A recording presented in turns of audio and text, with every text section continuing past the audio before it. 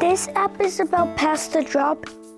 I can press start, pass it around the circle. You can't let it get out of the bucket and you have to let it stay purple or it will turn red and, and you have to pass it back around.